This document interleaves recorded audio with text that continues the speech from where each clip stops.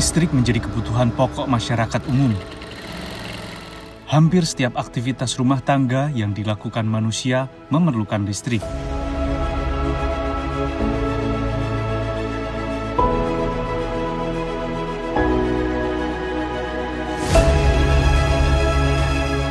Belakangan ini, pemerintah gencar mendorong subsidi untuk konversi kendaraan berbahan bakar listrik. Sebagai upaya mengurangi emisi karbon, pemerintah mendorong migrasi dari kendaraan bermotor fosil ke kendaraan listrik melalui insentif. Pemerintah berencana akan memberikan subsidi pembelian kendaraan listrik hingga 80 juta rupiah. Apakah cara ini akan efektif dan bagaimana DPR RI melihat rencana ini? Intervensi pemerintah jangan hanya pada mobil listrik saja.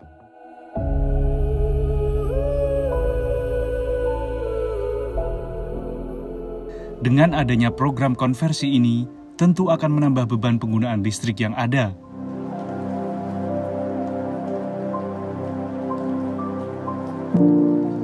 Sedangkan sebagian besar energi pembangkit listrik saat ini berasal dari energi fosil.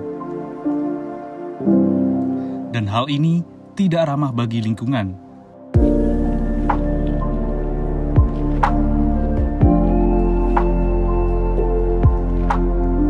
Sumber listrik alternatif menjadi salah satu solusi bagi permasalahan ini. Pembangkit listrik tenaga mikrohidro (PLTMH) menjadi alternatif pemanfaatan sumber energi alam yang ramah lingkungan, sekaligus mengurangi ketergantungan kebutuhan listrik dari satu sumber saja, yaitu PLN.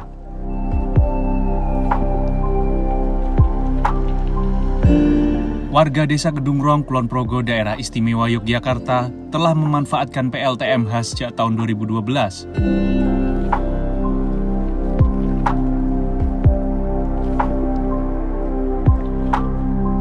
Terdapat 45 keluarga yang menghuni desa ini. Dan di tahun 2009 silam, setidaknya ada lima rumah di desa ini yang tidak bisa menikmati listrik yang berasal dari negara. Namun, semua itu berubah setelah PLTMH muncul di desa ini.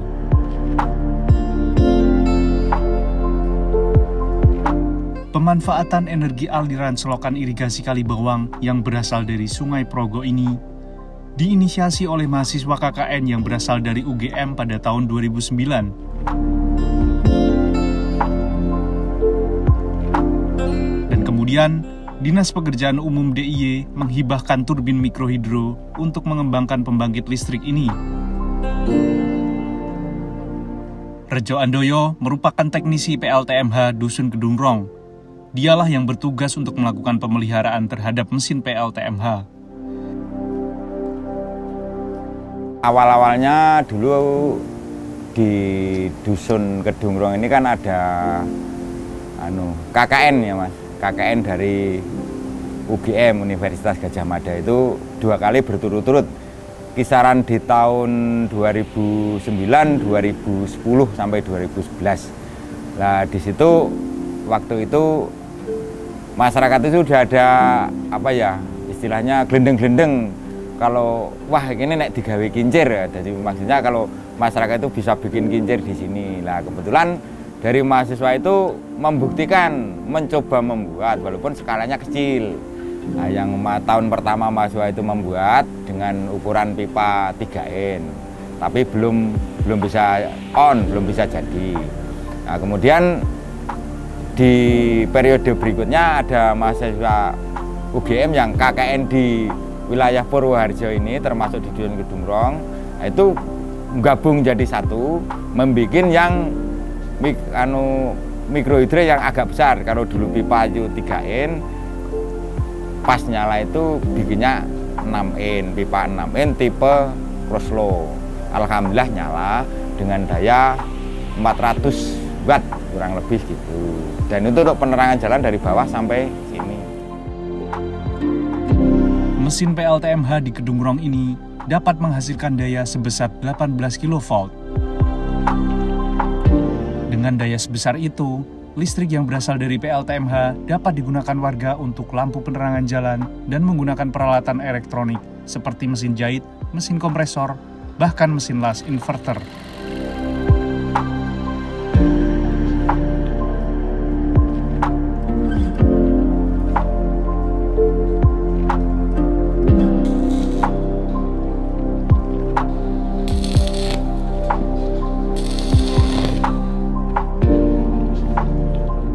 Pemeliharaan terhadap mesin PLTMH dilakukan secara berkala dan dananya berasal dari iuran yang dibayarkan oleh warga.